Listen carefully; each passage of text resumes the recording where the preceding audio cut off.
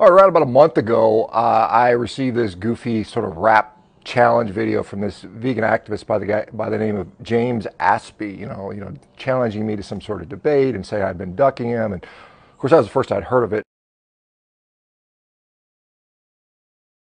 And so I said, "Yeah, sure, James, come on, come on the podcast. We'll we'll we'll, uh, we'll get you on there and we'll have a discussion." Well, I hadn't heard back from him in you know a month or so, so I assume he just kind of chickened out or decided he didn't want to do that or something like that.